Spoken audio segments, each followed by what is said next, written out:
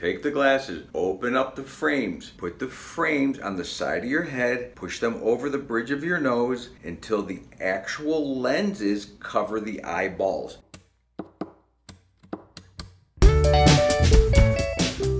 You know, making comedy videos is not easy. It's much easier to do the how-to. The how-to video, like if I picked up this pen, right? How to use a pen. First, is it a click pen? Find the clicker. Click the pen once, and now you are ready to write. How to use a pen. When I'm trying to make videos, I can't come up with like every day just something off the table and go, okay, how to use a key.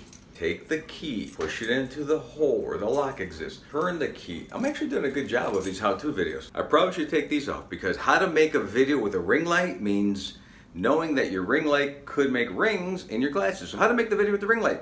Take your glasses off. Comedy videos are a lot harder to produce. So I sit here every day and I struggle. Okay, what's gonna be funny today? There's so many easier ways to make videos. I watch a lot of guys do the unboxing thing. Today we're gonna unbox this.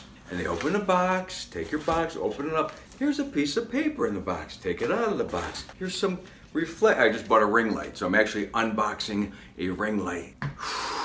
Do you get my point? So you have to think of what makes it funny. It takes a long time versus me just grabbing, again, something off the table like this tiny rubber band. How do I keep things together?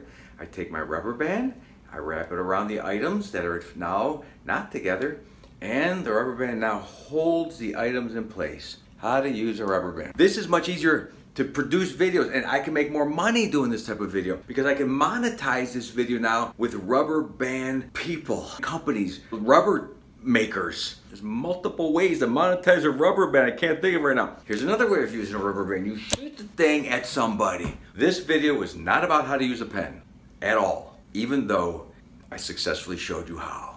I was just checking to see if I had the, the actual button turned on the video. I do this a lot where I stand in front of a camera that's not even running and not recording and I make this great video and I go, hmm, I forgot to record that. And then I try to make it again. I'm good at this first initial take. This emotion comes out on the first initial take. If I gotta do it again, I start getting tired and I start going, this ain't fun. This, and I wanna be around the fun just the fun only. Making the how-to video, making the motivational video, making the unboxing video, the gaming video. These are like becoming a doctor. Becoming a doctor, there's a certain path. College, grad school, whatever the rest of it is, residence. I don't know how to become a doctor, or else I would have became a doctor. I'm saying comedy's harder. Where's that path as a comic? There is no path. In comedy, look, you're either funny or you're not funny.